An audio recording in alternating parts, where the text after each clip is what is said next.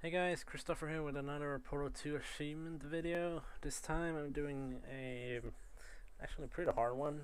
Uh, well, one of the harder ones anyway. Um, this one is called the uh, well Overclocker.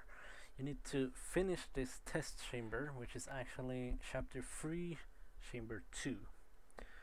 Uh, ooh, sorry.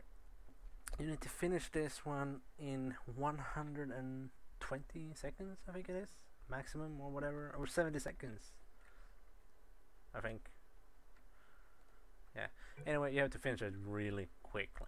Okay, so I'm going to try it. Maybe I'll let you ride an elevator all the way up to the break room. And I'll tell you about the time I saw a deer again. Grab the cube. Sorry, I'm just focused. Go down. Jump up block the gate or block the laser. Orange portal, jump down. Go in the faith plate. Shoot a blue, blue portal, press the button, go over here.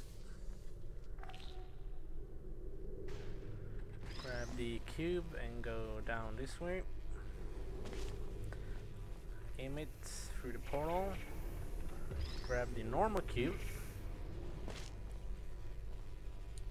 go into faith plates.